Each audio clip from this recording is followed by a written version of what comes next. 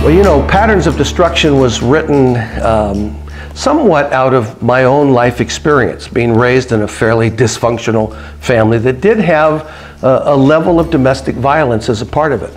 Not only did I was was I raised in that kind of family system, but over many many years I've counseled dozens and dozens of individuals and families stuck in the destructive pattern of domestic violence. In this book, we cover what's, what's the root of it, what's the cause of most domestic violence,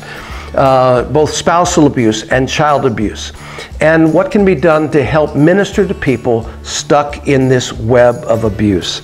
If you're a counselor and you're looking for good resources to help you, or if you really feel a passion to be able to minister to people caught in this web, this book will help.